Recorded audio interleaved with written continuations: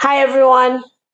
My name is Ronke Majekodunmi, and I'm here to talk to you all today about innovative leadership is product management and why that is. I want to thank Product School for giving me this lovely opportunity to talk to you all today. And once again, I want to thank you for taking the time to attend this webinar. So, as I said, I'm Ronke Majekodunmi. I am a senior product manager at PayPal. As most of you know, PayPal is an American company that operates an online payment system where you can transfer money. And this is, of course, in majority of the countries around the world that accept payments transfers. And this is, of course, in lieu of money orders and checks. And also, as most of you know, PayPal is double-sided. Uh, there is the consumer side and then there's the merchant side. And at PayPal, I help large enterprise merchants manage and grow their business. For most of my career, I've worked in fintech. I've helped to build B2C and B2B platforms. So thank you all for joining today. I always like to start my presentations by talking about my PM superpower. I thrive in finding opportunities being on the side of others. The reason I like to share my superpower as a PM is because, well, it's gotten me through some tough days. And as and my PM always, my superpower always reminds me of why I am here, which is to build the best products for my customers that would change their lives.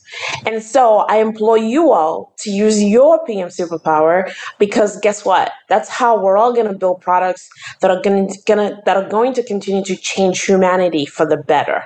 We got to use our PM superpower. So let's start, shall we? What is leadership? So in my perspective, leadership can be characterized as that person, that individual, or group of people that have this ability to not only affect, but guide and support and lead our whole entire organization. They can provide that thing that we all rally around and believe in that cause, which is to build products that would change our customers' lives. That to me is leadership. So let's talk about innovation. To me, innovation is something different. It is something novel. It is that brand new thing, and it's something unfamiliar.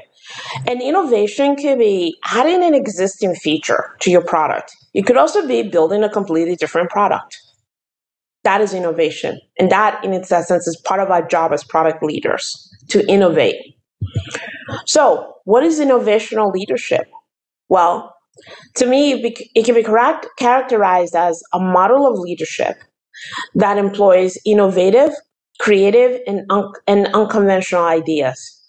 Meaning, my cross functional partners and I are free to go dream big and come up with the really big ideas so that we can again build products that are going to impact our customers' lives for the better.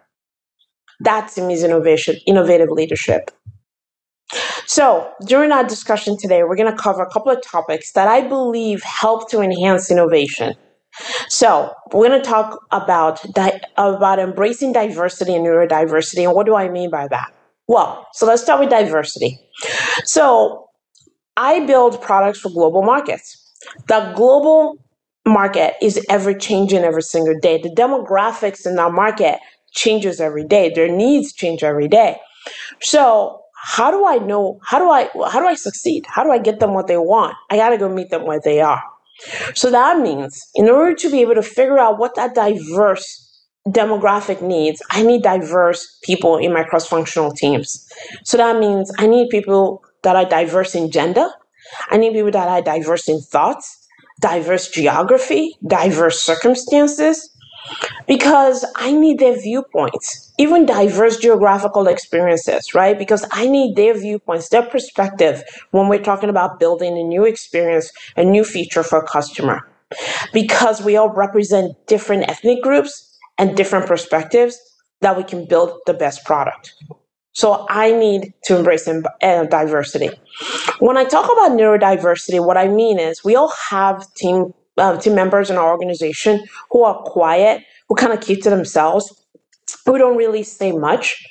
And what tends to happen is those people get to be uh, get ignored. And I'm challenging all of us to not ignore our colleagues just because they are quiet and they keep to themselves and they don't really say much, but rather go meet them where they are because those folks that are quiet do have best ideas to help us bring our product vision to life.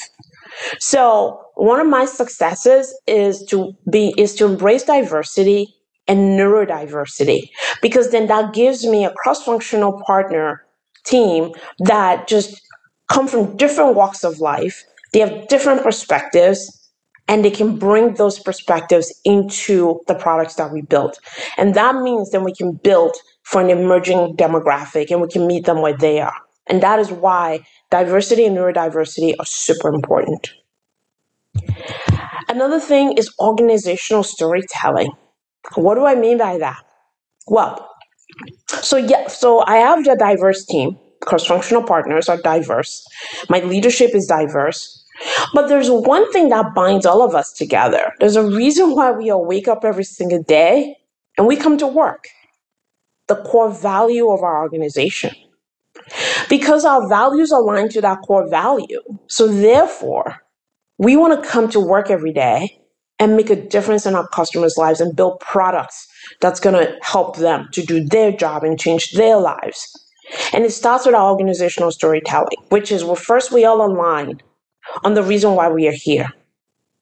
Then we tell the story of our product. Now, I tell the story of my product in two ways. One internally within my organization, within with my cross-functional partners. We align on why we come to work every day, which is our core value. But then we then we also tell the story of how our product is a hero.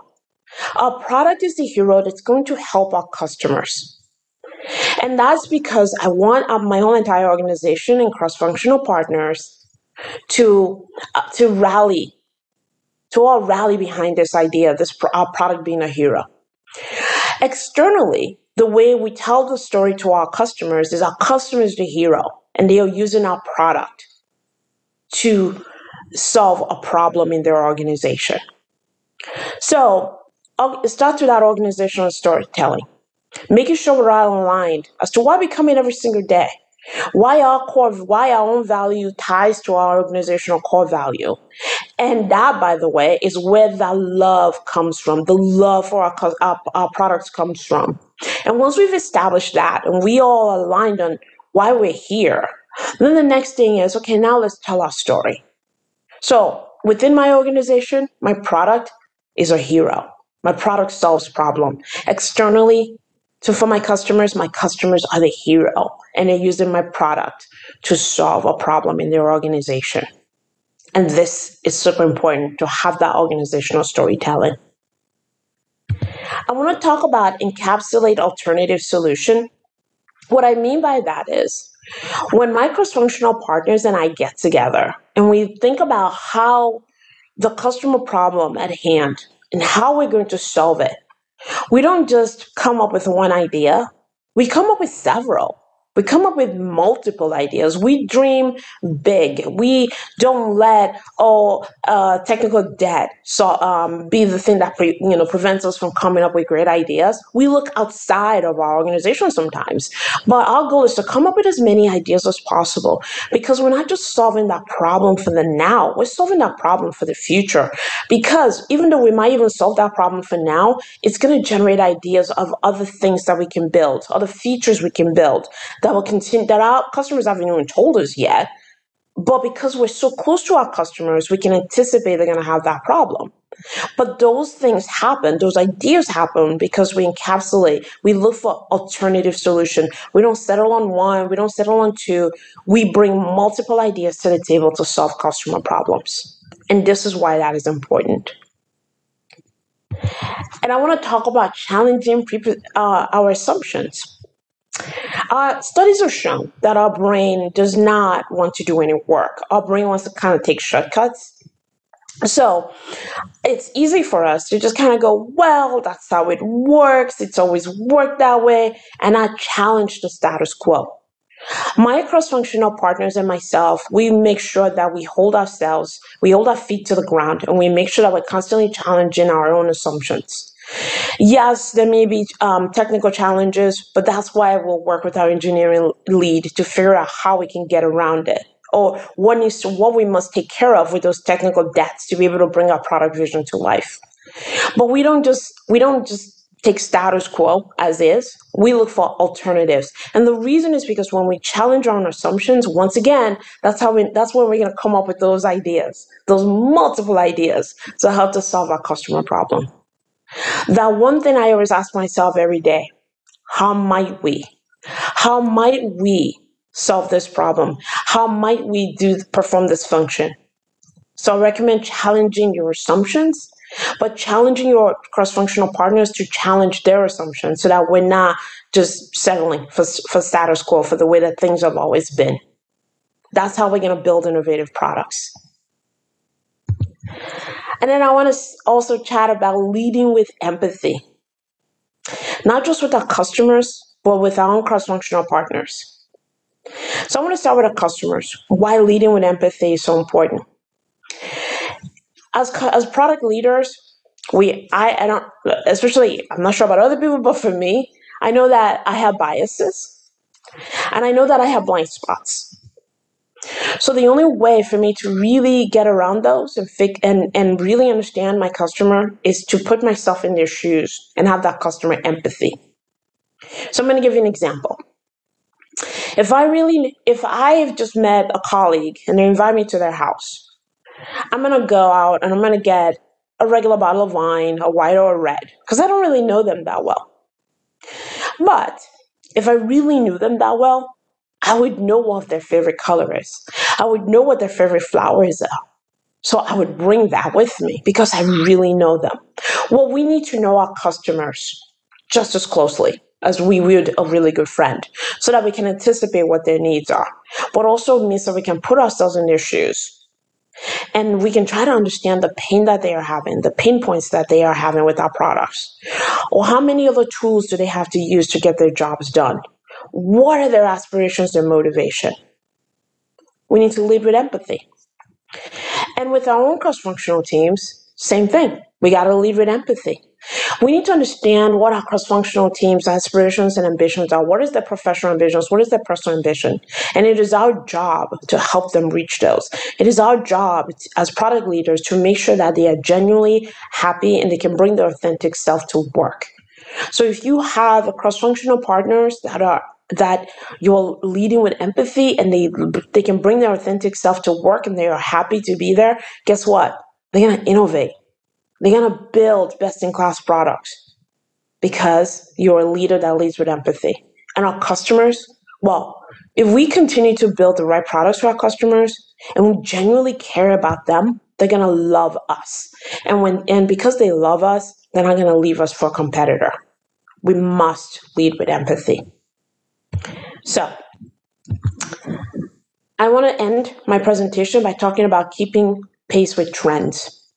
It is important as product leaders that we know what's going on in the world, that we listen to whatever podcast we need to listen to to see what's happening with the market, that we understand how decisions being made by polit- uh, through politics and, and environmental disasters and any and climate change and so forth are impacting that demographic that we are building for. That way we can be ahead of it. That way we can anticipate what products and features they would need.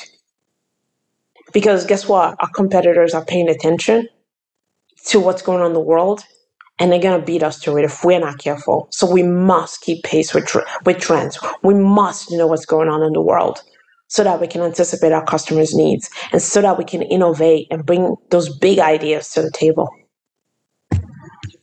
So I end my presentation today by talking about product leadership. Being a product manager to me is one of the most humbling opportunity because our actions not only can inspire and motivate our cross-functional partners, but it can encourage them to dream big and not settle for status quo. And they themselves can blossom into more than they are. They can grow professionally and personally. And that to me is the embodiment of leadership and why I love being a product leader. So, I want to end by sharing with you all my favorite books. My favorite books about leadership, which is something that's very important to me to always grow as a leader, to make sure that I am not only growing as a leader, but as a person. So, these are those books. I recommend them all. And I want to thank Product School for having me today to share my insights with you all. I want to thank you all for taking the time to attend this webinar. And this is how you can reach me. It is such a pleasure talking to you all today. Thank you so much for having me.